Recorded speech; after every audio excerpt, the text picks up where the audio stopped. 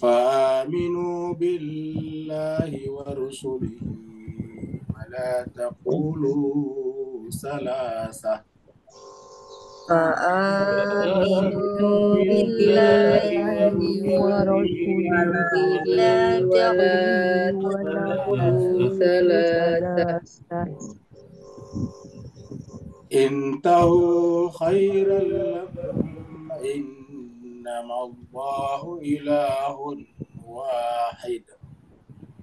إنه خيرا لكم إنما الله إله واحد سبحانه أن يكون له ولد.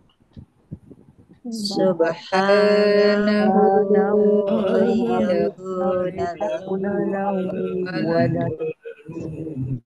lahu ma fis samawati wa ma fil ardi wa kafa billahi wakila. Lahu ma fis samawati wa ma fil ardi wa kafa billahi wakila lan yastakifal masihu an yakuna abdan lillah. لن يستنكف المسيح أن يكون عبدا لله ولا الملائكة المقربون. ولا الملائكة المقربون. ومن يستنكف عن عبادته ويستكبر فسيحشرهم إليه جميعا ومن يستنكف عن عبادته ويستكبر فسيحشرهم إليه جميعا فأما الذين آمنوا وعملوا الصالحات فيوفيهم أجورهم. أما الذين آمنوا وعملوا الصالحات فيوفيهم أجورهم. ويزدهم من فضله وأما الذين استنكفوا واستكبروا ويزيدهم من فضله وأما الذين استنكفوا واستكبروا ويعذبهم عذابا عليما فيعذبهم عذابا أليما ولا يجدون لهم من دون الله وليا ولا نصيرا لا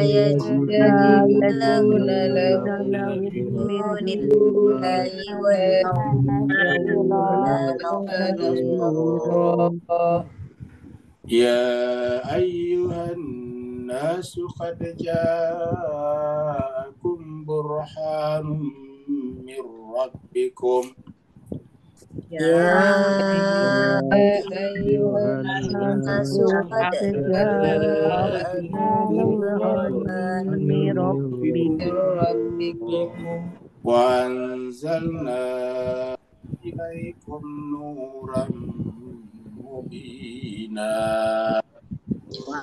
أنزلنا إليكم نورا مبينا فأما الذين آمنوا بالله بالله واعتصموا به فسيدخلهم في رحمة منه فأما الذين الذين آمنوا آمنوا بالله ورسوله فيدخلهم سيدخلهم في منه رحمة وفضل منه وفضل ويهديهم إليه صراطا مستقيما. وفضل ويهديهم إليه مستقيما. يستفتونك قل الله يفتيكم في الكلالة. Ini kunaka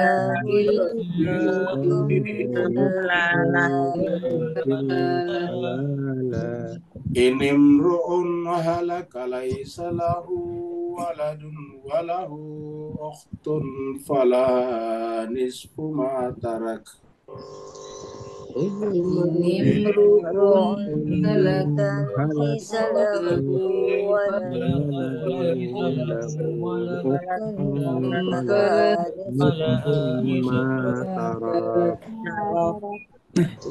وهو يرثها إن لم يكن لها ولد. وهو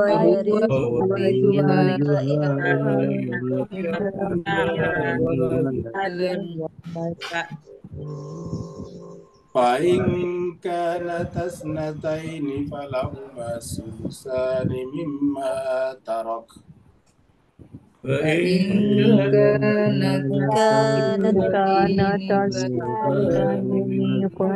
فرسان مما وإن كانوا إخوة رجالا ونساء فللذكر مثل حظ الأنثيين. وإن كانوا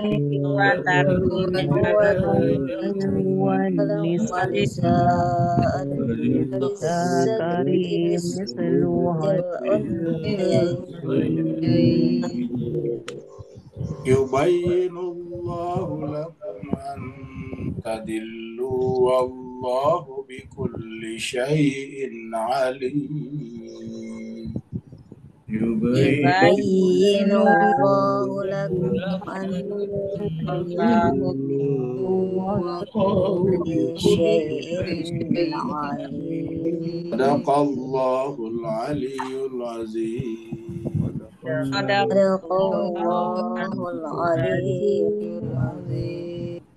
اللهم صل وسلم وسلم وزد وبارك على على رسول رسول الله آله الأطهار على على رسول الله وآله الأطهار وآله الأطهار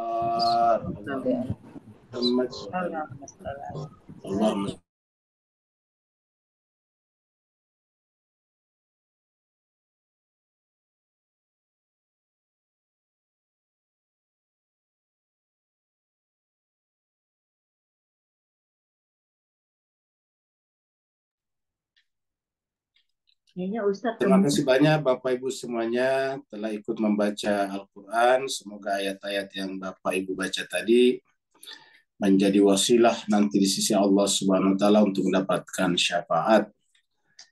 Kita semuanya pada saat itu membutuhkan syafaat dan celakalah kita kalau tidak mendapatkan syafaat pada saat itu. Dan salah satu wasilah untuk menjadi untuk mendapatkan syafaat adalah Al-Qur'an. Kita teruskan surat An-Nisa, surat yang keempat. Surat An-Nisa artinya suratnya perempuan. Turunnya surat ini adalah di Madinah, maka disebut dengan surat Madaniyah, jumlah ayat 176 ayat, dan tadi kita sudah baca sampai ayat 176. Berarti petang ini adalah pertemuan terakhir untuk surat An-Nisa yang kita baca sejak beberapa pekan sebelum Ramadan. Dan berarti lewat pertengahan Ramadan baru kita selesai An-Nisa dan kurang lebih 13 Ramadan lagi kita akan baca surat-surat selanjutnya yaitu surat Al-Maidah. Kalau selesai surat Al-Maidah kita pindah ke surat Al-An'am. Terakhir kita bahas berkenaan dengan rasul-rasul. Allah SWT berfirman, Bismillahirrahmanirrahim. Ya ayuhan nasu, wahai seluruh manusia. Adija akumur rasul telah datang kepada kalian rasul yaitu Rasulullah Muhammad sallallahu alaihi wasallam maksudnya di sini. Walaupun dibicarakan Rasulullah Muhammad di sini tetapi nabi-nabi yang lain pun juga membawa kebenaran. Jadi pada akumur rasul bil haqqi membawa kebenaran. Dan kebenaran itu bukan dari pemikiran dia, bukan dari pemikiran sang rasul, bukan abstraksi pikirannya, bukan hasil kelola intelektualnya, tetapi mirabikum dari Tuhan kalian. Fa'aminu khairan lakum. Maka kalau kita beriman kepada kebenaran itu, maka itu akan menjadi lebih baik-baik kita. Wa in takfuru sebaliknya kalau kalian ingkar, fa inna lillahi ma fis samawati Maka sungguhnya kepunyaan Allah apa yang ada di langit dan apa yang ada di bumi. Wa kana Allahu aliman hakimah. Dan Allah itu adalah maha mengetahui lagi maha bijaksana. Sekarang kita masuk pada ayat baru. Ya ahlal kitab, wahai ahli kitab. Ahli kitab di sini adalah seperti Yahudi, Nasrani yang paling banyak sekarang Yahudi dan Nasrani. Mungkin ada lagi yang lain tetapi tidak begitu besar. Seperti di Irak dulu kita dengar istilah Yazidi, konon kabarnya Yazidi juga adalah termasuk penganut agama Samawi. Bahkan ada juga yang mengatakan bahwa Zoroaster di Iran, Persia dulu, juga adalah penganut agama Samawi. Tapi yang paling kita lazim kenal dan masyhur di masyarakat adalah Yahudi dan Nasrani. Jadi ya alal kitab, tapi siapa pun yang penting ahli kitab, termasuk kita tentunya orang Islam, karena kita juga ahli kitab, dikatakan la taglu fi dinikum, janganlah kalian melampaui batas dalam beragama. Jadi ayat ini menjelaskan kepada kita bahwa ada orang yang gulu dalam beragama. Ya, ini kata bendanya namanya gulu. Karena ini kata kerja la taglu, jangan kalian gulu fi dinikum dalam beragama. Jadi ada orang gulu dalam beragama. Apa itu gulu dalam beragama? Pertama kita sampaikan dulu dalam bahwa dalam melaksanakan agama ini budaya atau culture atau kultur itu tidak bisa dipisahkan. Jadi agama dengan budaya tidak bisa dipisahkan. Di mana pun agama itu dilaksanakan, pasti akan berimplikasi dengan budaya yang ada di tempat itu. Contohnya misalnya begitu misalnya Islam diterapkan di Asia Tenggara, di Nusantara dulu namanya, ya maka kita lihat simbol-simbol agama diatributkan, disamakan dengan budaya. Contohnya misalnya ketupat. Kalau kita lebaran itu ketupat, simbol ketupat. Ya. Padahal ini kan cuma di Asia Tenggara. Di tempat lain, di Asia Tengah, di Asia Tengah, di Asia Barat, di Afrika tidak ada ketupat. Jadi ketupat itu bukanlah ajaran agama, tetapi kultur. Ketika kita berlebaran dan lebaran itu ataukah Idul Fitri itu kan ajaran agama. Sebagai penutup seluruh rangkaian ibadah puasa kita, kita datang ke lapangan untuk menunaikan salat bersama-sama namanya salat Idul Fitri. Nah setelah selesai salat Idul Fitri, sebagai manusia kan tidak mungkin kembali ke rumah tidur semuanya. Biasanya kita bersilaturahim, kunjung mengunjungi satu sama lain.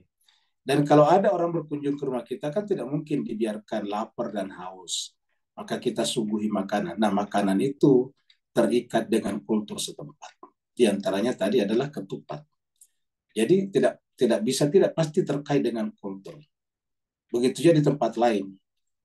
Contohnya misalnya eh, apa namanya eh, pakaian lagi. Kalau kita beragama kan harus menutup aurat. Nah, penutup aurat nantinya itu kemudian berimplikasi pada budaya dan kultur setempat. Kalau di Timur Tengah misalnya pakai jubah, pakai baju besar, laki ataupun perempuan. di Eropa di Barat misalnya menggunakan pakai celana panjang. Nah, jadi itu adalah berimplikasi pada budaya setempat. Dan sampai sekarang pakai laki-laki pakai celana panjang sholat ya sudah diterima. Dulu-dulu belum diterima juga di sebagian tempat termasuk di Indonesia. Kalau di Indonesia dulu tuh ada kelompok yang mengharamkan orang sholat pakai celana panjang, harus pakai sarung. Karena bagi mereka kalau kita pakai celana panjang itu lekuk tubuh kelihatan.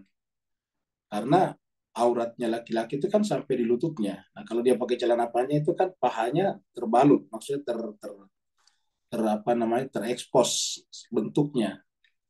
Nah, sehingga kemudian ada yang mengatakan itu tidak boleh. Tapi lama kelamaan diterima juga. Nah, kesimpulannya bahwa agama itu ketika diamalkan, ketika diterapkan, ketika diaplikasikan di suatu masyarakat tertentu, di pelbagai tempat di muka bumi ini, pasti akan bersentuhan, berinteraksi dengan kultur budaya yang ada di tempat itu.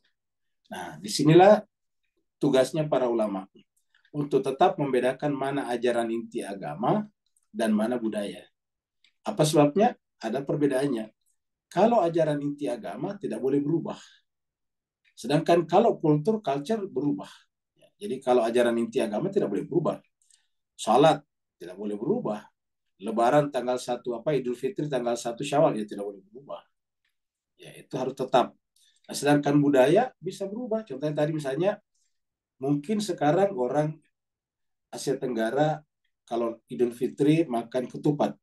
Ya boleh jadi suatu saat ketupat sudah ditinggalkan. Karena biasanya kalau kultur berubah alat, maka berubah juga budaya.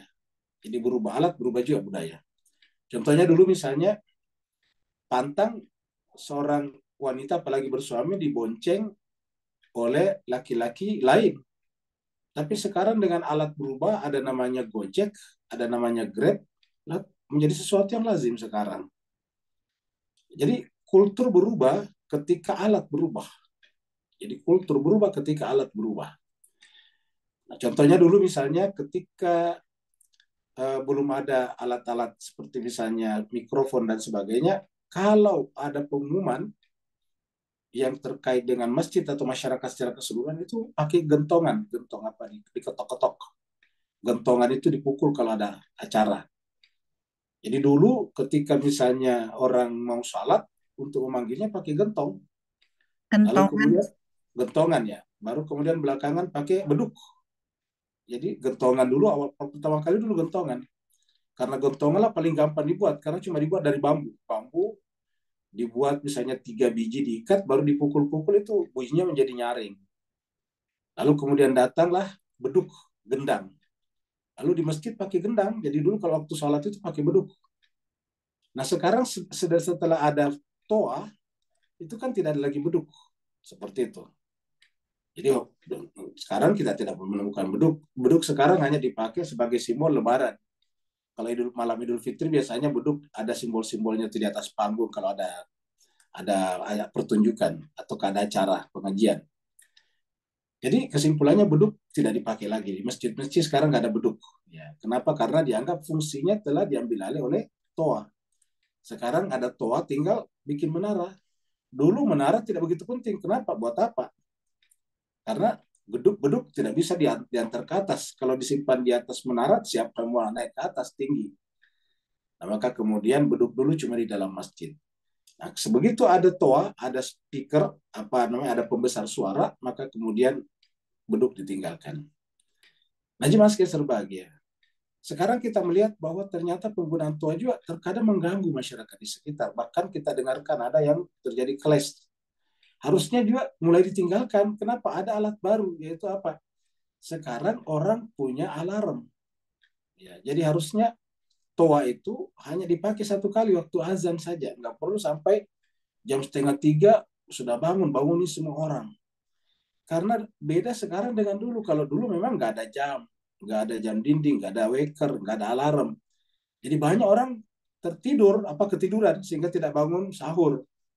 Maka kemudian dibuatlah inisiatif di kampung jam setengah empat atau jam tiga anak-anak kumpul berjalan dari gang ke gang, dari jalan ke jalan membangunkan orang. Tapi ini kultur, nah karena kultur ya bisa berubah. Ketika alat berubah harusnya kultur berubah. Sehingga kemudian tidak perlu lagi mengganggu orang. Kenapa? Setiap orang semakin tinggi tingkat teknologi, semakin tinggi tingkat privasinya. Kenapa? Karena privasi itu didukung oleh penggunaan teknologi. Misalnya setiap orang sekarang bisa membangunkan dirinya dengan alarm. Semua sekarang orang punya handphone, bahkan ada yang punya dua, tiga handphone satu orang. Dan itu tinggal disetel alarmnya dan mereka bisa bangun sendiri. Nah harusnya ini apa di, di apa namanya di, di, di, diaplikasikan sehingga penggunaan toa sudah mulai berkurang, tinggal azan saja. Nah seperti itu. Jadi kesimpulannya ketika kemudian kultur mendominasi agama dan tidak bisa kita bedakan mana agama mana kultur, ya bulu namanya dalam beragama. Bulu kenapa? Bayangkan setengah tiga sudah berisik di speaker. Ya, dan seluruh orang mendengarkan dan bukan hanya satu masjid, beberapa masjid. Sementara tidak semua orang butuh itu. Maka namanya bulu. Ya, kenapa? Karena itu bukan ajaran agama. Ajaran agama itu ya azan. Bahkan azan pun tidak wajib. Azan itu cuma sunnah. Ya. Azan dan azan hanya disunahkan juga terutama kalau masjid ada tempat berja ada berjamaah di situ. Kalau seandainya masjid tidak ada berjamaah kan tidak ada relevansinya untuk pakai speaker. Kenapa tidak ada imam, tidak ada bersalat berjamaah misalnya. Nah, jadi kesimpulannya inilah perannya para ulama untuk membedakan mana din dan mana kultur. Mana urf, mana din dan mana urf. Yang urf yang kultur bisa berubah dan harus berubah sesuai dengan perubahan zaman atau teknologi. Jadi Allah mengatakan la taqulu fi dinikum wa la taqulu 'ala Allahi illal haq. Makanya dikatakan karena agama tidak boleh gulu, maka jangan mengatakan atas nama Allah, atas nama Allah illa haq. Jadi kalau kita mengatakan bahwa membangunkan orang tengah malam jam setengah tiga sampai jam setengah empat, berisi bayangkan setengah tiga, setengah empat, bahkan ada yang sampai jam empat, satu setengah jam atau dua jam berisik. Sementara kita mau orang mau tahajud juga. Terganggu sekali membaca Al-Quran. Nah, maka dikatakan, ilahak. Jangan atas namakan Allah kalau itu bukan al-haq. Apa buktinya al-haq? Ada di Quran. Nah, di Quran tidak ada perintah untuk membangunkan orang sahur. Di Al-Quran tidak ada perintah menggunakan beduk, pakai speaker, tidak ada. Kenapa? Ya itu kultur. Nah, makanya tidak boleh kita mengatasnamakan itu sebagai agama kita mengatakan menerugur orang yang berisik membangunkan sahur ini sama dengan menistakan agama. Ini salah tidak menistakan agama. Menistakan agama kalau mencaci maki orang yang pakai jilbab. Nah itu dia menistakan agama. Ya. Innamal masihu isa bin maryam bahwasanya al-masih Isa bin Maryam itu adalah Rasulullah wa kalimatuh. Nah, ini diberikan contoh. Apa contoh bulu dalam beragama? Nah, lihat basisnya ataukah secara dinnya dari Allah Nabi Isa itu hanyalah Rasul Allah. Rasul Allah Rasulullah. Wa kalimatu dan kalimatnya. Kata kalimatnya ini kita juga pelajari di surat Al Imran dulu. Ya waktu kita bicara tentang Maryam. Jadi Al-Masih Sabun Maryam itu Rasulullah wa kalimatu. Sampai di situ saja. Ya tidak lebih dari itu. Nah ketika kemudian Nabi Isa diberikan predikat-predikat lain maka itu keluar daripada kebenaran yang datang dari Allah. Alqaha ila Maryam. Jadi Allah menjadikan Isa putra Maryam itu tersimpan begitu saja di dalam diri Maryam. Alqaha itu disimpan begitu saja, diletakkan begitu saja di dalam rahim Maryam.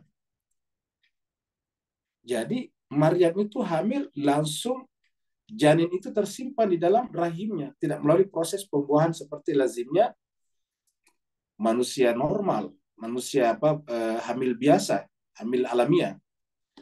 Ila Maryam ruhun min dan dia adalah ruh dari Allah. Ya. Maka fa'aminu billahi wa rasuli. Maka berimanlah kepada Allah dan Rasulnya. Wala taqulu salah jangan mengatakan bahwa Tuhan itu tiga dan dan apa namanya dan Nabi Isa atau uh, Isa bin Maryam itu bagi, salah satu dari yang tiga itu. Nanti ini diperdalam lagi di surat Al-Maidah. Nanti di, di surat Al-Maidah ayat 70-an itu nanti lebih dalam lagi.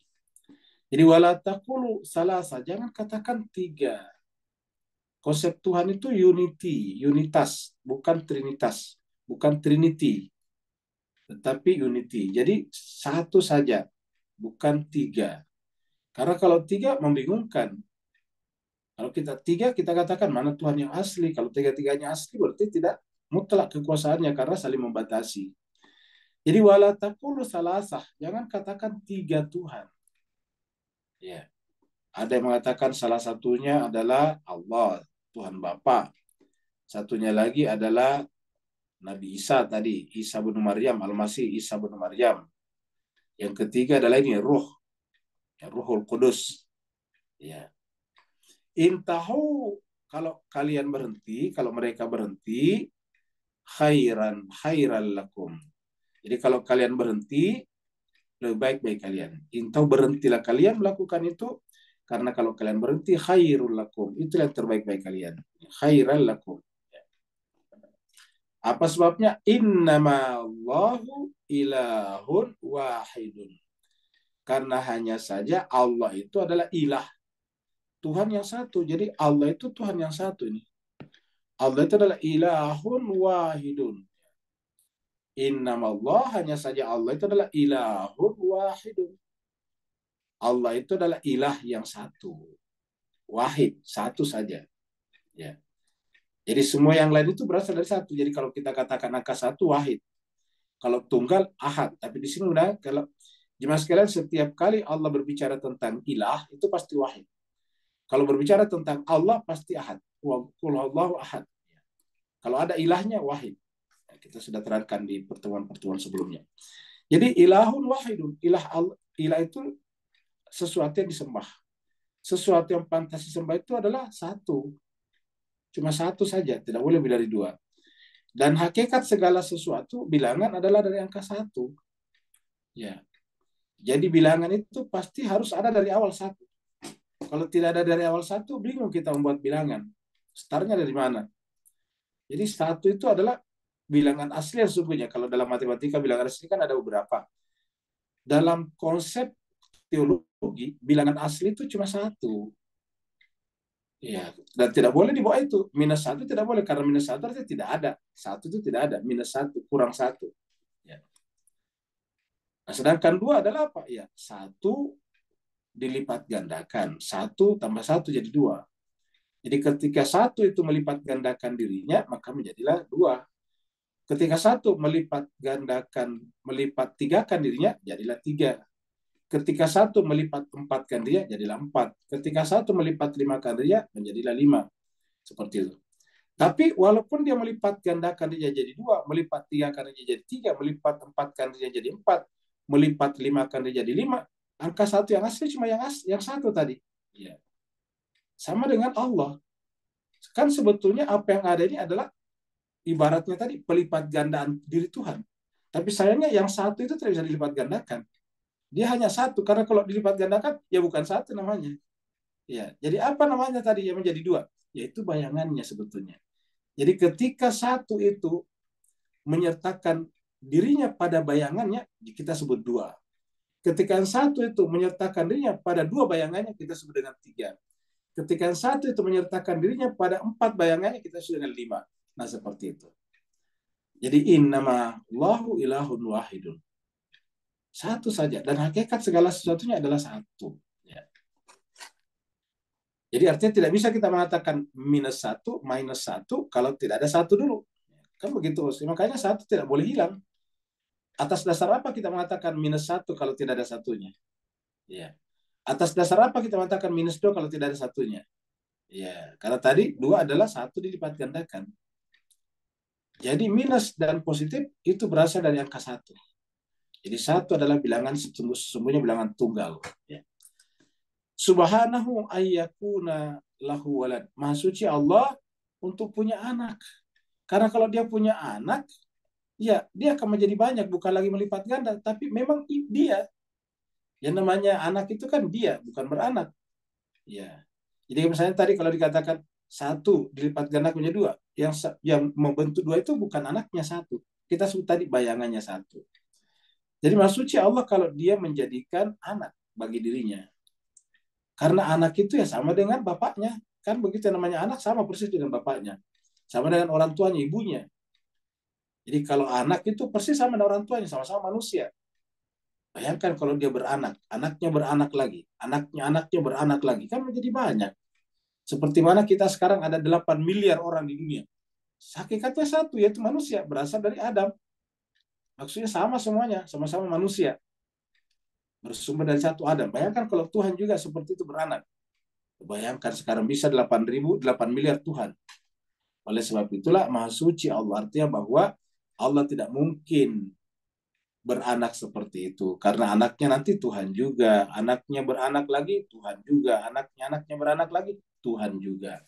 Lahu maafis samawati fil miliknya langit dan bumi sehingga kalau dia ingin sesuatu cukup dia menciptakannya bukan beranak wa kafabillahi wakila dan cukuplah Allah sebagai wakil. Dan kalau Allah menciptakan ya tidak bisa dikatakan anak karena hierarki anak dan ciptaan itu berbeda tukang batu membuat membuat tembok itu beda statusnya si tukang batu dengan tembok. Tembok ya tetap benda, tukang batu tetap makhluk hidup seperti itu. Begitu ya dengan Allah. Ketika dia menciptakan makhluk, ya status Tuhannya tidak berubah dan status makhluk tidak terangkat jadi Tuhan. Allah sebagai Khalik tetap Khalik, makhluk sebagai ciptaan tetap makhluk. Tidak bisa berubah. Maka oleh sebab itulah tidak benar kalau Allah punya anak karena miliknya lah apa yang ada di langit dan apa yang ada di bumi.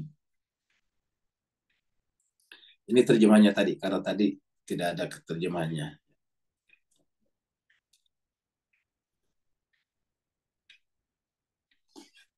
Lam yang kifal masihu ayyakuna abdan. Kalau kalau tadi video kita lihat, ilustrasi kita lihat adalah Nabi Isa, ya memang begitu dulu Nabi Isa punya tubuh, berjambang juga, makan minum juga, memegang kertas seperti tadi juga, tidak ada bedanya. Dan artinya bahwa dia benar-benar manusia, karena bisa memegang seperti manusia, bisa berbicara seperti manusia, ya benar-benar manusia. Bisa dipegang tubuh tubuhnya seperti tadi murid-muridnya memegang tubuhnya. Jadi dia manusia. Nah, ketika dia manusia, bagaimana bisa tiba-tiba berubah statusnya menjadi Tuhan? Lan yastankifal masihu ayyakuna abdalillah. Yang namanya Nabi Isa itu tidak pernah ada keingin keengganan. Tidak ada rasa berat, keberatan dalam dirinya untuk menyembah kepada Allah, menjadi hamba Allah. Jadi yang namanya Nabi Isa itu adalah abduhu juga. Jadi namanya Nabi Isa adalah abduhu. Abdalillah ini hamba Allah kalau disambung jadi Abdullah, abduhu. Nah, jadi Nabi Isa itu adalah abduhu, bukan ibnuhu. Jadi beda ibnuhu. Jadi kalau ibnuhu ini ibn, ya, ini ibn, ibn nuhu. Nah ini adalah artinya anaknya. Ini adalah ibnu, anaknya Tuhan. Sedangkan kalau abduhu, kalau abduhu, nah ini dia. Kalau abduhu, namanya hambanya. Nah ini hamba di sini. Jadi harusnya Nabi Isa itu adalah Rasulullah abduhu wa rasuluhu. Dia adalah abdu wa rasuluh. Jadi kalau pada zamannya dulu Nabi Isa, belum lahir Nabi Muhammad kita, harusnya syahadatnya wasyadu anna Isa bin Maryam abduhu wa rasuluhu. Sama, sama dengan kita sekarang. Asyhadu anna Muhammadan abduhu wa rasuluhu. Harusnya dulu asyhadu anna Isa kalau ditambah al Isa al-Masih ibnu Maryam abduhu wa rasuluhu. Jadi dia adalah rasul. Tidak boleh berubah jadi ini. Ya, ini tidak boleh berubah jadi ini. Ya. Walal malaikatul mukarrabun. Bukan hanya Nabi Isa, tetapi juga al-malaika al-mukarrabun. Malaikat yang sangat dekat kepada Allah. Jadi malaikat mukarrabun itu tidak mungkin juga merasa enggan untuk menjadi hamba terhadap Allah. Bahkan kemuliaan mereka adalah karena kesempurnaan abad mereka di sisi Allah. Jadi kesempurnaan ubudiyah mereka yang menyebabkan mereka meraih kemuliaan dari Robnya. Karena kemuliaan itu hanya dimiliki oleh Rob. Sedangkan hamba abad tidak. Jadi kemuliaan abad tergantung pada kedekatannya dengan Robnya. Begitu juga dengan malaikat. Wa yastankif an ibadatihi dan siapa yang keberatan siapa yang keberatan untuk beribadah kepadanya wayas takbir dan ada kiber, ada rasa sombong pada dirinya, fasayakhsyuruhum ilaihi jami'a. Maka nanti di akhirat dia akan dikumpulkan. Diperhadapkan kepada Allah semuanya, jami'a semuanya, dikumpulkan di hadapan Allah. Kalau yastakbir ini sudah menjadi sifatnya iblis. Ya. Kalau manusia biasa lain bisa istin istan kafah, yastan kifu. Nah, iblis itu adalah aba wastakbara. Ketika disuruh sujud, dia enggan sujud karena dia mengatakan dia disebut dengan penyakitnya aba wastakbara. Nah, siapa yang memiliki ini berarti juga masuk pada wilayah iblis. Kalau dia memiliki ini sama juga dengan enggan. Jadi sebetulnya mirip juga. Yaitu yastankim itu enggan beribadah kepada Allah. Orang beri, enggan beribadah kepada Allah berdasarkan logika ayat ini, ya langsung atau tidak langsung, sadar atau tidak sadar, telah mengangkat dirinya sebagai Tuhan. Coba Bapak sekalian kalau kita enggan beribadah kepada Allah, lalu siapakah Tuhan yang paling tinggi itu? Ya tanpa kita sadari, ya saya, kita lah yang Tuhan yang paling tinggi. Karena tanda kita bukan paling tinggi, ya kita harus menyembah kepada Tuhan kita. Maka tidak boleh ada yastangkif an ibadati. Apalagi was takbir istiqbar. Ya.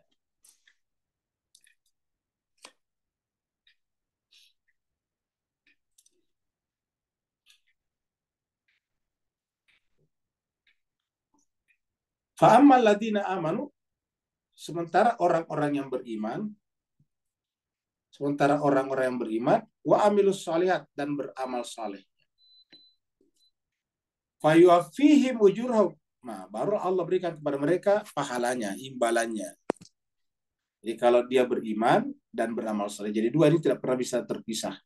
Iman amal saleh. Iman ini adalah di dalam diri privasi sifatnya private Sedangkan kalau amal saleh ini adalah masuk dalam wilayah publik. Karena beramal saleh itu kan berarti terkait dengan orang lain. Kalau iman itu murni bersifat privat, bersifat pribadi, bersifat personal, individual. Tapi kalau amilus salihat ini pasti publik. Karena ketika beramal saleh pasti ada objeknya, objeknya di sekitar kita. Contohnya kita menyiram bunga, kembang. Nah, itu amal saleh namanya. Kenapa? Karena kembang itu kan makhluk yang lain, artinya bukan diri kita kita membersihkan taman itu amal soleh. Ya. Kita berkata-kata yang baik kepada sesama itu adalah amal soleh. Fayuafihim maka Allah berikan kepada mereka ajarnya, pahalanya. Wa yaziduhum, dan menambahkan kepada mereka min fadlihi, karunianya. Ya. Wa amal ladina kafu, dan adapun orang-orang yang kafu enggan, wastakbaru, tadi disebutkan di ayat sebelumnya, jadi adapun orang-orang yang istankafu wastakbaru fayu'adzibuhum adaban alima. Pasti Allah akan mengazabnya dengan azab yang pedih. Jadi dua sifat ini tidak boleh ada pada diri kita.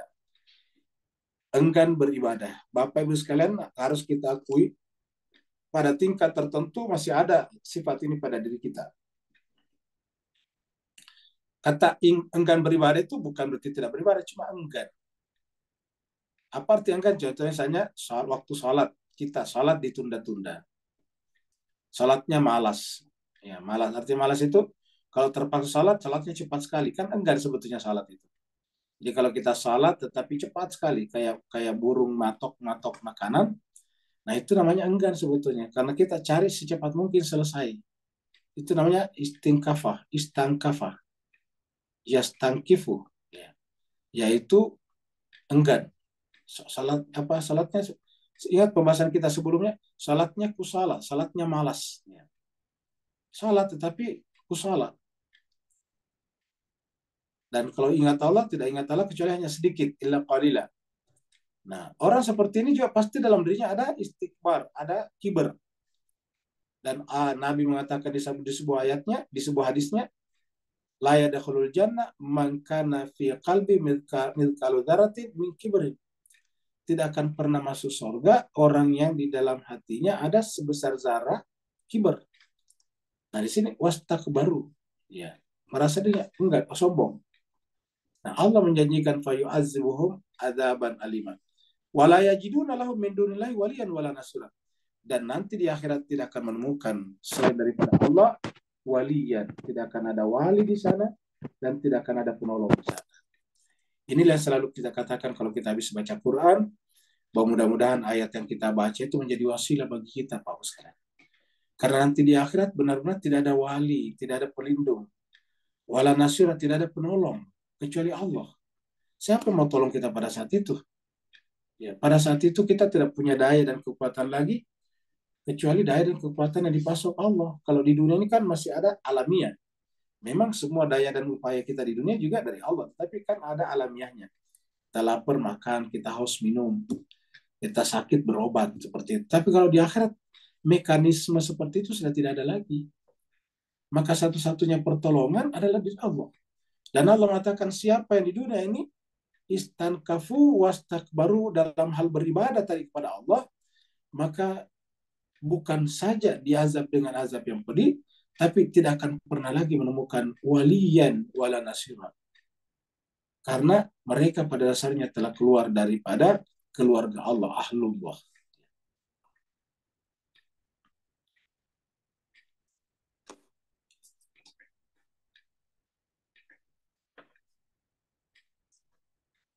Ya ayuhan nasu, wahai seluruh manusia. Ya ayuhan nas. Pada ja'akum burhan.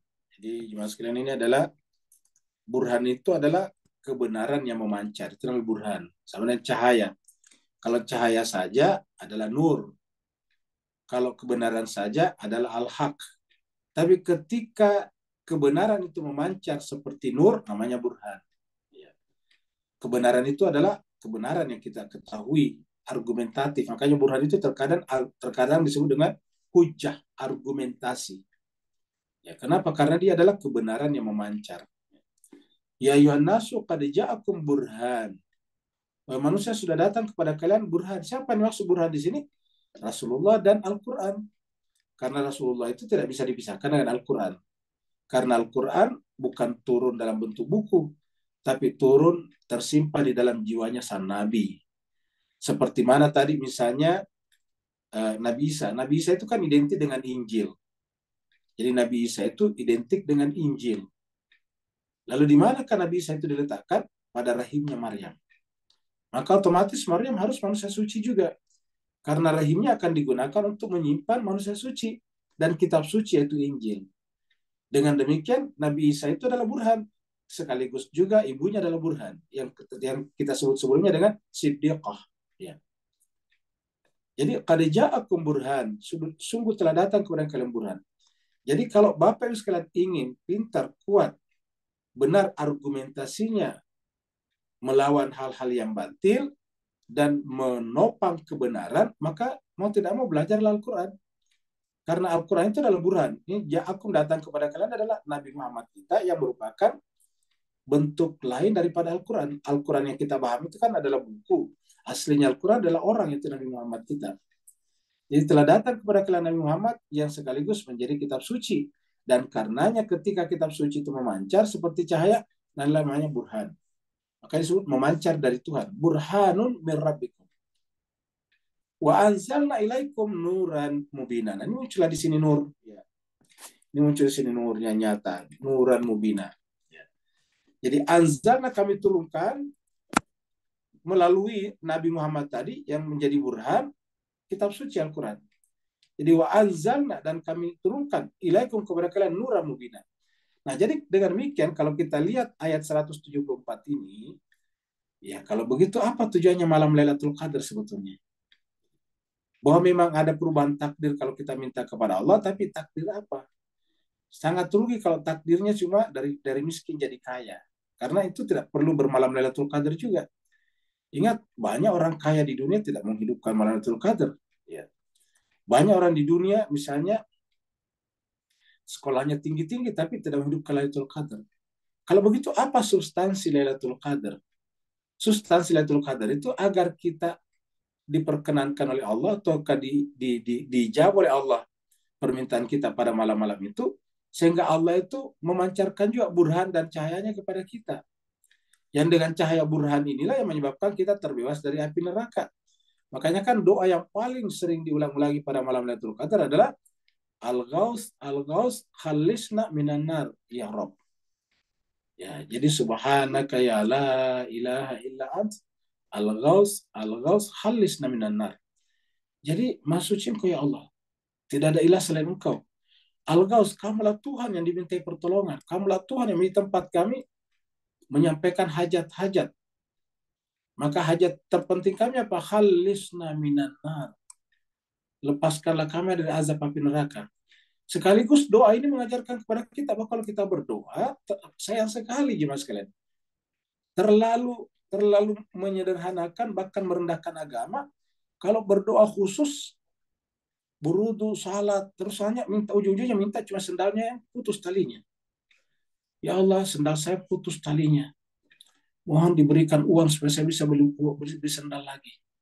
Ya, Cobalah baca doa-doa dalam dalam Al, dalam Al-Quran dan juga doa-doa yang diwariskan Nabi dan keluarganya suci kepada kita. Doa-doanya seperti tadi. Subhanaka ya la ilaha illa ant al-ghaus al-ghaus halisna minan nar ya Rabb. Dan kita tahu cuma sekian serbahagia apa namanya itu munajat-munajat yang paling bagus, yang paling tinggi itu adalah menggunakan misalnya jausan kabir. Apa namanya Asmaul Husna. Asmaul Husna disebut dengan jasan kabir karena perisai besar. Ya, itulah perisai besar sebetulnya. Dan apa isinya? Apakah isinya ada sendal jepit yang putus talinya? Apakah di dalamnya ada motor yang putus rantainya? Tidak ada Pak sekalian. Yang ada di dalamnya nama-nama Allah baru ditutup, selalu ditutup. Setelah kita membaca 10 nama Allah dalam satu nomor, kita tutup subhanaka ya la ilaha illa ant Al-Ghaus, Al-Ghaus, halis minan nar. Kan itu yang paling penting. Buat apa kita di dunia punya satu gudang sendal, punya satu gudang motor dan mobil, tapi di akhirat kita masuk neraka. Dan itu juga diajarkan pada doa sapu jagat kita. Rabbana atina fid dunia hasana wa fil akhirati hasana tahu wa qina adzabannar. Ya Allah berikanlah kami kemampuan di dunia untuk menggapai hasanah kita sudah menjelaskan hasanah itu satu asal kata Hasan Hussein Musin itu sama. Wafil akhirat hasanah dan agar di akhirat nanti kami bergabung dengan hasanah. Wakin ada benar dan lepaskanlah kami juga dari azab api neraka. Jadi ujung-ujungnya ke sana. Nah Allah mengatakan, Ya ayuhan nas, qad ja'akum burhanun burhanun min wa anzalna ilaikum nuram mubina. Cahaya. Nah, kalau kita datang pada malam-malam Lailatul Qadar dan Allah pancarkan kepada kita burhan nuram mubina, selain kita bisa berargumentasi secara akurat membela kebenaran dan menunjukkan kebatilannya yang batil ataukah hakka hakka batila batila selain itu juga ini akan menjadi perisai nanti di akhirat dari azab api neraka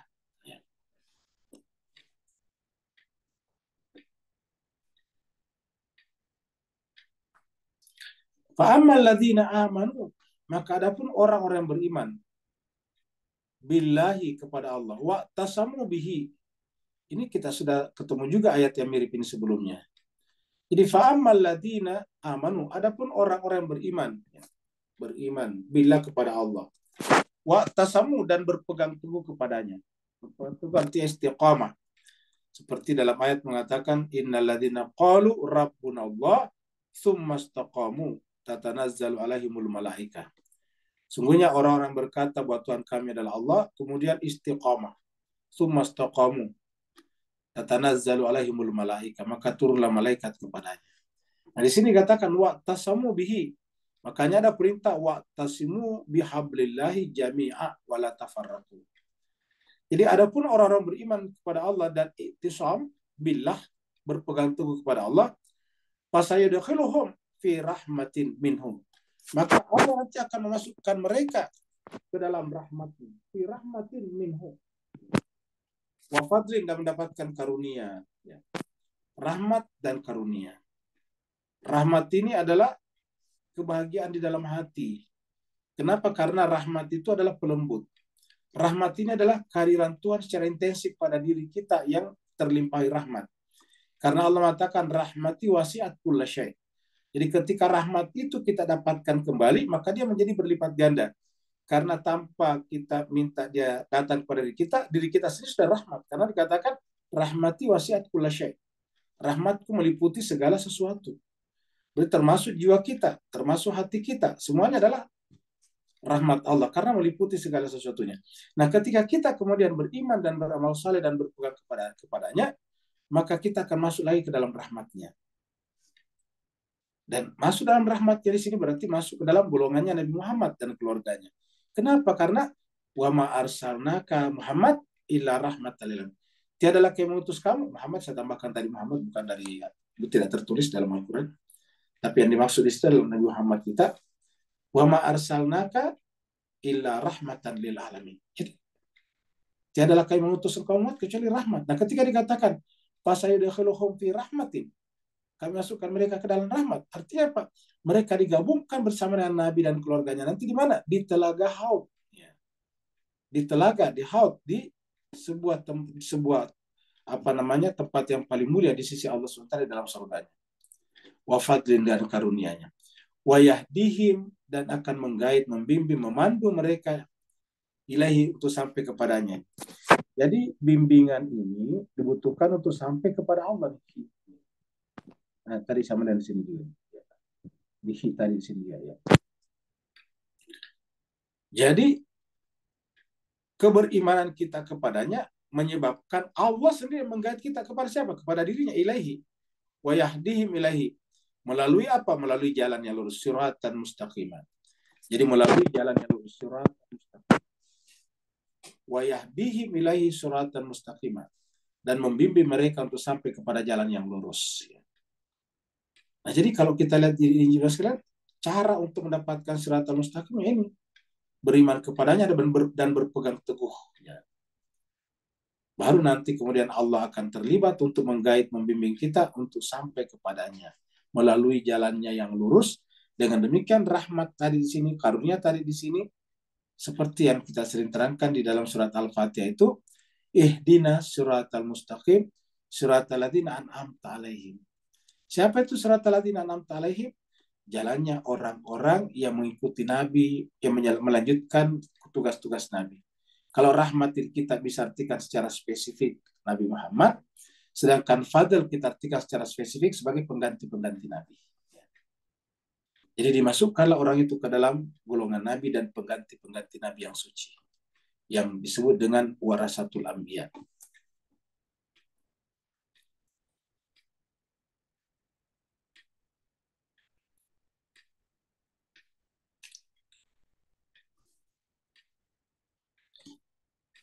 Yastaftunaka. Mereka minta kepadamu pendapat. Yastaftuna minta fatwa, pendapat. Apa mereka minta pendapat? Ini belakang tentang kalalah. Jadi walaupun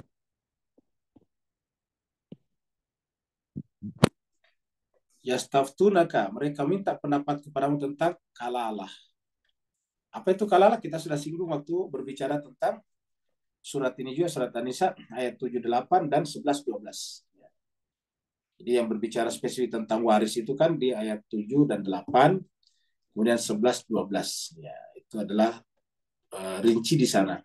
Dan pada saat itu kita juga sudah bicara sedikit tentang kalalah. Maka kita bisa bikinkan itu hari contoh-contohnya, ada contoh perhitungan waris dan sebagainya. Itu adalah bisa merujuk kembali ke sana. Jadi kalau ingin nanti lebih dalam ini karena waktu kita terbatas, ya kembali kepada pembahasan kita surat An-Nisa juga ayat 7 dan 8 dan ayat 11 dan 12. Itu lebih rinci di sana pembicaranya. Tapi kita teruskan. Jadi mereka minta pendapatmu tentang kalalah. Ini yang kita sebutkan sebelumnya bahwa sumber-sumber rujukan-rujukan tentang eh, apa namanya eh, warisan dalam Islam itu pertama ayat 7, ayat 8, ayat 11, ayat 12 dan ayat 176. Ya. Kalau dalam Al-Qur'an. Kul katakanlah Muhammad, Allahu yuftikum fil kalalah. Allah telah memberikan fatwa, pendapat, ayat kepada kalian tentang kalalah. Ini meru'un halaka, apabila yang meninggal itu adalah seseorang, Imru'un itu kita artikan seseorang halaka yang meninggal, laisalahu waladun, tidak punya anak. Ya, jadi laisalahu walad itu artinya tidak punya anak. Ingat ya sekalian namanya kalala kita ulangi lagi kalala itu artinya orang yang meninggal itu tidak punya suami, tidak punya istri, tidak punya anak. Ya. Maka disebut dengan laisalah walad. Ya. Jadi kalala namanya. Jadi meninggal, tidak punya istri, tidak punya anak. Mungkin pernah beristri tetapi sudah pisah. Jadi sudah tidak, waktu meninggal sudah statusnya single. Mungkin pernah punya suami tapi sudah pisah. Sehingga ketika meninggal statusnya single. Gak ada hubungan apa-apa lagi dengan mantan suaminya. Tidak punya anak juga. Mungkin dulu punya anak tapi meninggal. Masih kecil meninggal. Jadi sekarang statusnya kalalah, tidak punya anak, tidak punya suami, tidak punya istri. Naik kalalah. Ya. Nah, apabila yang kalalah itu adalah seseorang yang tidak punya anak, walau ukhtun, tapi dia punya saudara perempuan. Jadi saudara perempuannya yang yang disebutkan di sini. Ya. Dia punya saudara perempuan. Falaha nisfu ma taraka. Maka bagi saudara perempuannya itulah mendapatkan setengah daripada hartanya dapatkan setengah daripada harta yang ditinggalkannya. Tirkah. Kita sebut dulu dengan tirkah. Jadi maka baginya nisfu. Nisfu itu setengah dari apa yang ditinggalkan si eh, yang kalala tadi ini. Wahuwa yarisuha in lam wahuwa yarisuha in lam yakun laha waladun. Apabila ya dia yang yang meninggal itu Yariswa mewariskannya adalah tidak punya anak laki-laki. Waladun tidak punya anak lah. Ya. Tidak punya anak. Fa'in kanat isnata ini falahuma sulusa, sulusani mimma taraka. Apabila ini maksudnya tadi di atas ya kalau dia tidak punya ya anak sama sekali. Fa'in lam Fa'in fa'in kanat isnata ini, jadi tidak punya anak, hanya punya saudara. Karena kan kalala itu tidak boleh punya anak, tidak punya anak ya. Kemudian fa'in kanat asnata ini apabila ini saudaranya dua, kanata ini maksudnya saudara perempuannya tadi itu dua, isnata ini, falahuma maka keduanya mendapatkan asulusani mimma taraka, dua per tiga dari yang ditinggalkan dari tirka yang ditinggalkan oleh almarhum almarhumah. Wa in kanu ikhwatun ya, apa, apa ikhwah apabila ada beberapa saudara kata-kata ikhwah itu adalah beberapa saudara. Jadi kalau campur laki perempuan menggunakan ikhwah, laki-laki semuanya juga banyak bersaudara namanya ikhwah juga. Ya. Tapi di sini sebutkan ikhwah di sini campuran rijalan wanita. Kalau yang bersangkutan itu punya saudara laki-laki ataupun perempuan, Valid dakar mithlu hadil unsayain. Maka pembagiannya tetap yang laki-laki dapat dua, yang perempuan dapat satu. Lid zakari mithlu hadil unsayain. Yang laki-laki sama dengan dua bagian perempuan. Yubayinullahu lakum antadillu. Allah menjelaskan apa namanya ayat-ayatnya. Yubayinullahu lakum antadillu agar kita tidak tersesat. Wallahu bikulli syai'in alim dan Allah SWT terhadap segala sesuatu adalah alim. Jadi inilah surat yang boleh dikatakan awal dan akhirnya berbicara tentang perempuan dan keluarga.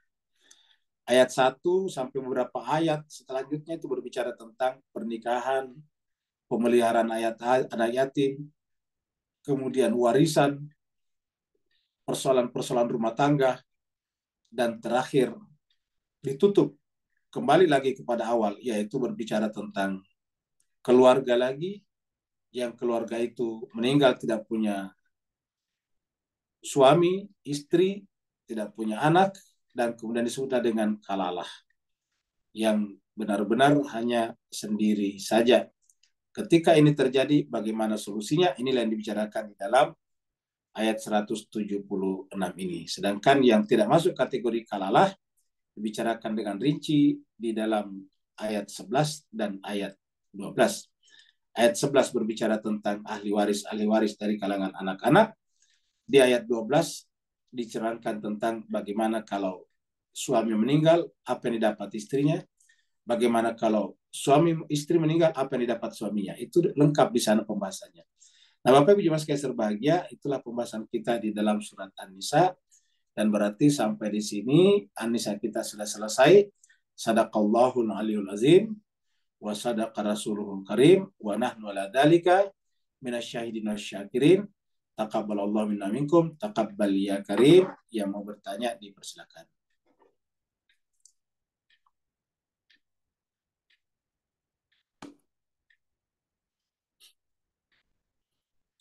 Kalau tidak ada berarti kita tutup sampai di sini Pak Bu sekalian ya. Terima kasih Saya, banyak. Ustaz. Ada? Iya, saya. Oh ya silakan. Eh, Silakan. Assalamualaikum warahmatullahi wabarakatuh. Terima kasih Ustadz. Eh, cuma mau memperjelas tadi ayat terakhir itu yang membahas tentang ini eh, tentang pembagian warisan ketika eh, seorang ang- eh, anggaplah seorang perempuan yang tidak punya suami, tidak punya anak dan eh, hanya punya saudara pada saat meninggal eh, yang mewarisi hartanya itu hanya bisa dibagi oleh saudaranya. Bagaimana kalau misalnya Ustadz eh, saudara perempuannya misalnya sudah eh, meninggal, tapi eh, tapi punya keponakan-keponakan daripada saudara perempuannya itu, bagaimana itu Ustadz? Eh, tetap kebagian eh, eh, keponakannya atas nama ibunya atau bagaimana Ustadz? Atau hanya saudara laki-lakinya ya, eh, saja yang mendapat? Tadi disebutkan pertama kali malah saudara perempuan. Ya. Jadi kalau tadi perhatikan mana tadi ini ya itu yang, yang pertama justru saudara perempuan yang disebutkan tadi di sini nih. Ini kata Uhtun ini Uhtun ini saudara perempuan ini saudara perempuan. Ya. Jadi eh sorry tidak ada screennya kita ke screen dulu ya. Nah jadi kita ke screen dulu. Nah ini tadi nih ini.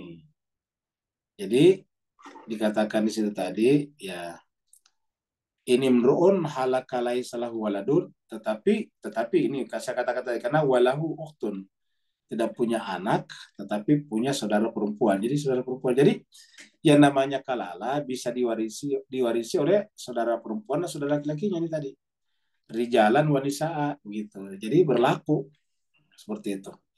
Jadi saudara saudara saudara laki-lakinya eh saudara saudara laki-lakinya ataupun saudara perempuannya yang mewarisinya. Seperti itu. Maksud saya Bu? Ustadz, ya. Eh, Assalamualaikum, maaf, Ustaz. Ustadz, saya masih masih bingung Ustadz. Ya. Eh, maksud saya kalau misalnya eh, ber, eh, apa tiga eh, tiga bersaudara, tetapi salah satunya sudah meninggal dan eh, perempuan yang satunya eh, maksudnya lebih duluan meninggal, tetapi punya anak yang saudara perempuannya yang satunya itu eh, mening, maksudnya dua bersaudara perempuan uh, dan satu laki-laki anggaplah seperti itu. Uh, tetapi uh, keduanya ini meninggal, satunya meninggal tanpa anak dan satunya uh, meninggal dengan uh, uh, meninggalkan anak gitu. Uh, apakah warisan yang tidak punya anak ini uh, bisa di uh, tetap mendapat bagian kepada uh, anak kakak per, uh, apa saudara perempuannya yang punya anak itu, Ustadz gitu. Maksudnya dapatkah Iya. dibagikan juga berhakkah keponakan-keponakannya Ustadz gitu. Jawabannya kalau meninggal dan dan tidak punya anak sebelum meninggal ini eh, yang yang kalalah ya dia tidak tidak dapat tidak dapat lagi. Jadi dan karenanya tidak bisa diberikan bagiannya in absentia baru diserahkan kepada ponakannya. Nggak bisa. Kecuali kalau dia punya anak ponakan tadi. Nah itu boleh ponakannya kamu gitu tapi kalau tidak ada ya berarti dia ibaratnya tidak boleh dikasih warisan in, in absentia artinya orangnya sudah tidak ada dan tidak punya keturunan otomatis dianggap tidak ada seperti itu Hmm, iya iya mengerti Mas Ustadz. Makasih Ya. banyak Ustadz. ya sama-sama Assalamualaikum. Waalaikumsalam. Waalaikumsalam Pak Nur silakan Pak Nur Alhamdulillah barakallahu. Ustaz, eh, beri pandangan peribadi pilihan Ustaz. Anda kata surah An-Nisa ni turun pada Ustaz sebagai satu-satu surah Quran yang ada depan mata. Mana ayat yang Ustaz jatuh cinta dan akan melepaskan selamanya? Barakallahu. Baik, terima kasih banyak. Jadi pertanyaan Nur ini apa namanya menarik ya. Kalau seandainya tidak ada surat lain kecuali surat An-Nisa turun dan manakah ayat yang paling menarik dalam surat An-Nisa? Ya. Kalau saya secara pribadi ayat yang paling menarik, yang paling uh, membekas, yang paling apa namanya, yang paling apa ya, mencakup segala-galanya adalah surat An-Nisa ayat 100. Jadi kalau saya disuruh pilih, seandainya ya, maka surat An-Nisa ayat 100 itu berbicara tentang hijrah. Karena ini berbicara tentang hakikat perjalanan kita semuanya dan kebenaran yang harus kita tempuh untuk sampai kepadanya. Semua yang lain termasuk keluarga hanya merupakan bahtera, kendaraan untuk sampai ke sana. Sedangkan surat An-Nisa ayat 100 berbicara tentang hakikat perjalanan kita itu. Ya, seperti itu. Ada lagi yang lain? Kalau tidak ada kita tutup ya. Ada Ustaz satu lagi. Ada, ada di ya, ya. Ada di screen ya. Hmm. Ya, jadi ini dari Ibu Himawati ya. Mengenai waris. Jika seorang istri meninggal, memiliki enam anak, kemudian suami menikah lagi, apakah hukumnya jika harta itu diambil semua dengan istri barunya? Termasuk terima kasih. Jadi tidak boleh karena kan ada anaknya. Jadi ini bisa Ibu Hikmah mungkin tidak ikut dulu di anu ya di Ibu Himawati tidak ikut dulu di ayat surat An-Nisa. Nanti Ibu Himawati cari rekaman surat An-Nisa ayat 11 dan 12 jadi pertemuan ke berapa itu? Ketiga surat An-Nisa. Nanti ada di sana. Jadi kita tetapi tetap kita balas apa eh, jawab dengan tegas ini dengan cepat itu kalau istri meninggal memiliki enam anak kemudian suami menikah lagi ya, apakah hukumnya jika harta itu diambil semua dengan istri barunya? Ya salah. Karena kan punya anak tadi di atas. Jadi kalau ditanya apa hukumnya? Ya salah kenapa? Karena ada anaknya kan ya kecuali kalau tidak ada anaknya ya ini ada anaknya tidak ada anaknya pun juga ada yang kembali ke saudaranya seperti itu. Karena kan uh, apa namanya uh, orang tuanya juga kan gitu. Jadi intinya adalah tidak boleh bu. Jadi kalau istri baru itu tidak boleh mengambil semua harta dari suaminya yang tadinya punya istri dan istrinya meninggal tapi punya anak. Anaknya banyak pula jadi harta peninggalannya anak ini adalah ahli waris gitu hmm. gitu lihat anak anak ini semuanya ahli waris bu kalau tidak dikasih ya sama dia mengambil haknya mereka seperti itu Terima kasih banyak Bapak Ibu sekalian. Mohon maaf. Ustaz. Apa ya. Ustaz? Ya. Bagaimana ini? Apa Ustaz? Bagaimana dengan sebaliknya kalau eh, dia tidak punya anak tapi anak ideologi begitu Ustaz? Afwan. Anak, Mohon pencerahannya. Anak, anak ideologi, anak ideologi. Ideologi enam Ustaz. Afwan. Nah, kalau anak angkat dia tidak tidak mendapatkan warisan. Jadi anak angkat tidak mendapatkan warisan, tapi dia berhak mendapatkan hibah jadi kalau misalnya kita punya anak angkat, ya harusnya sebelum kita meninggal diberikan sesuatu kepada mereka seperti anak-anak kita disekolahkan. Kalau anak kita kita belikan rumah, boleh juga kita belikan rumah kepada mereka. Karena yang namanya harta warisan itu adalah harta yang ditinggalkan oleh seseorang, baik suami atau istri atau seseorang apa pun juga, yang meninggalkan harta. Nah, ketika dia sudah meninggal, hartanya itu harus kembali kepada ahli warisnya. Tidak boleh keluar. Nah, tetapi sebelum meninggal yang bersangkutan, ya harta boleh keluar. Bukan hanya kepada anak angkat, tetapi kepada orang yang mereka ingin berbagi boleh. Misalnya ada temannya sangat dekat kepadanya, dia hibahkan misalnya sesuatu, bisa kepada gurunya, ataukah kepada muridnya, ataukah kepada panti asuhan, ataupun kepada pesantren misalnya seperti itu. Jadi boleh nah, hibah, ya. Jadi boleh saja. Tapi kalau sudah meninggal dunia, Pak Nir, tidak bisa lagi kecuali kalau ada wasiat lagi kalau ada wasiat tapi kalau tidak ada wasiat tidak boleh yang namanya warisan itu adalah semua harta peninggalan yang ditinggalkan almarhum almarhumah ditinggalkan setelah meninggal setelah dikeluarkan wasiat dan pengeluaran-pengeluaran utang piutang utangnya dan juga pengeluaran waktu meninggal dunia atau waktu masuk di rumah sakit seandainya belum dibayar misalnya Nah, itu barulah disebut dengan warisan. Syukur kasih dong, Ustaz. Apa ya? Terima kasih banyak Bapak sekalian. Mohon maaf atas segala kekurangan. Insya Allah besok subuh kalau kita tidak bicara tema lain, kita akan melanjutkan dengan surat Al-Maidah. Tema lain karena kita antarai. Apalagi sekarang kita sudah akan memasuki malam-malam terakhir bulan Ramadan. Ya, walaupun sekarang baru sekitar uh, berapa Rabu, hari Selasa, sekarang Rabu, berarti sekarang adalah 16 ya, 16 Ramadan. Kita tanpa terasa sudah 16 Ramadan hari ini. Jadi besok sudah 17 Ramadan. Jadi kalau versi pemerintah Indonesia, 17 Ramadan itu adalah hari nuzulul Quran, malam nuzulul Quran. Ya. Jadi 17 Ramadan itu uh, versi nuzulul Quran kalau versi Indonesia. Entah kalau di Singapura dengan Malaysia. Kalau di Indonesia sekalian itu menjadi kebiasaan, tradisi 17, 17 Ramadan diperingati nuzulul Quran, malam turunnya Al-Quran. Kesimpulannya kita sudah mulai berbicara Al-Quran. Mudah-mudahan besok kalau kita tidak kalau tidak kalau misalnya kita tidak bahas Al-Maidah, kita bahas secara khusus tentang pentingnya Al-Quran. Karena kita pun juga akan masuki malam-malam Lailatul Qadar. Terima kasih banyak atas perhatian Bapak Ibu sekalian. Saya doakan semoga Bapak Ibu sekalian senantiasa dilapangkan dadanya untuk menerima kebenaran dari Al-Quran, dimudahkan untuk mencerna dan memahaminya, dan juga mengamalkannya sepanjang hayat.